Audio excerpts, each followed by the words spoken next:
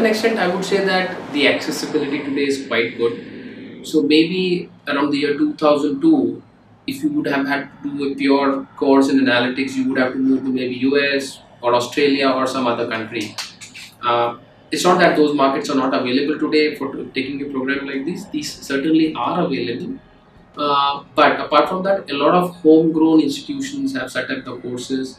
Uh, some of them privately held, some of them maybe affiliated to universities. At the end of the day, learning is learning, no matter whether you do it from a, a registered institute, like maybe a college, a university, or you do it from an institution, uh, which basically is like a private technical training institute what essentially is important is what are we learning over there. So accessibility is quite good. Today you have self-paced mode, you have online mode, you have in-class mode. All of these things are available. Apart from that, there are a lot of avenues wherein you can get these courses for free also.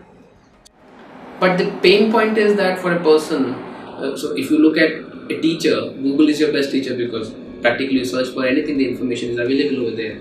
But obviously, this is not a teacher who is for you only, he is for everybody uh, it's it's basically an AI algorithm which is learning from the queries which people are firing and trying to connect it with the file system, and that's how the optimization happens, and it gives out information to you. And uh, maybe something which is searched by everybody is not the best knowledge. Maybe if you go to an individual who understands you better and tries to see the skill gap in you and what is required from the market, maybe that is a conducive situation for you to understand what is to be the next step it's like counseling. It's not exactly like uh, you have to go to a training institution wherein they map a course for you, but it's like your strengths, your weakness, and based on that, how you want to be argumented with some layer of technical training so that you are a good product. Right? That's what is requirement of the time now.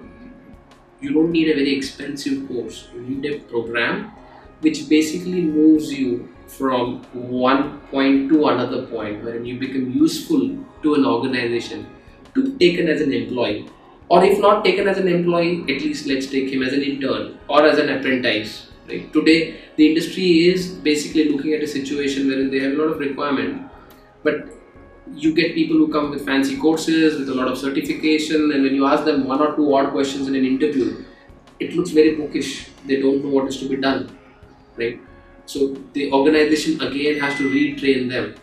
Maybe a time will come when the organization might do that also. But today there are avenues available where people, some mechanism, I wouldn't say it's completely non-commercial, but yes, uh, through a little bit of give and take, there are propositions wherein you could learn something on job kind of thing, and that is what students should look out for today if they want to learn.